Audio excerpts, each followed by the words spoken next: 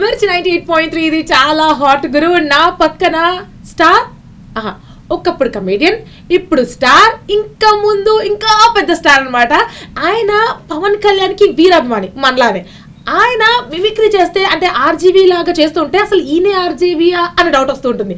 అలాంటి నాతో పాటు శేఖర్ శేఖర్ ఉన్నారు. శేఖర్ గారు హాయ్ సార్ నమస్కారం అండి అయ్యో మిమ్మల్ని చూస్తుంటే నవ్వొచ్చేస్తుంది నాకు. సార్ ఎలా ఉన్నారు? బాగుందండి ఫస్ట్ కంగ్రాచులేషన్స్ మీకు. ఎందుకంటే అంటే కొంతమంది టక్కన వచ్చేస్తారు ఇలా సినిమాల్లోకి. కొంతమంది అలా కష్టపడుతూ ఒక్కొక్క స్టెప్ వేసుకుంటూ వెళ్తారు. సో మీరు అలా ఒక్కొక్క స్టెప్ వేసుకుంటూ వెళ్ళారు. అంటే మీరు మాకు బాగా తెలుసు. ఎలా అంటే చిన్న స్క్రీన్లో చూసాం.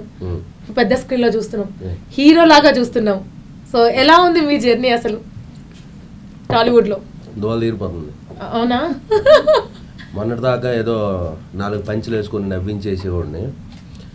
నిన్నటి దాకా ఏదో దెయ్యాల సినిమాలు చేసుకొని ఆ గోడల షాట్ని ఆ చీకట్లో కొంచెం కూర్చొని భయపెడితే నవ్వేసేవారు.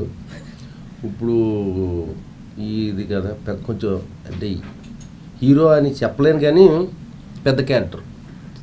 పెద్ద క్యారెక్టర్. పాటలు ఉంటాయి ఫైట్లు ఉంటాయి. పెద్ద క్యారెక్టర్ అని చెప్తా. పెద్ద క్యారెక్టర్ హీరో అంటే కొంతమంది ఒప్పుకోవట్లేదు నన్ను. జెన్యున్ చెప్పేస్తున్నా. ఓకే. కొంతమంది కొడదమని కూడా రెడీగా ఉన్నారు. అందరూ ఇండస్ట్రీలో అలా వచ్చిన వాళ్ళే కదా. నాకు ఇండస్ట్రీలో కొంతమంది పెద్దలు ఉన్నారు వాళ్ళు కొంచెం ఫాలో అవుతుంటారు. వాళ్ళు సరదాగా మామూలుగా ఏరా నువ్వు హీరోరా నువ్వు ఒక్కసారి చూసుకోరా నేను నువ్వు హీరోరా అంటే, లేదండి హీరో ఎవరు చెప్పారండి బాబు.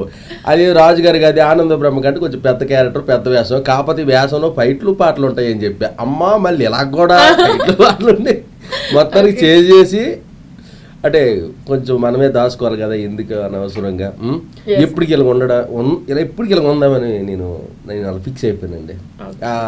Star no star actor okay actor actor PK cinema ఇచ్చినా చేస్తున్నాను అమెరికన్ పీకే సినిమా ఇచ్చినా చేస్తున్నాను. అట్లాంటి యాక్టర్ నేను.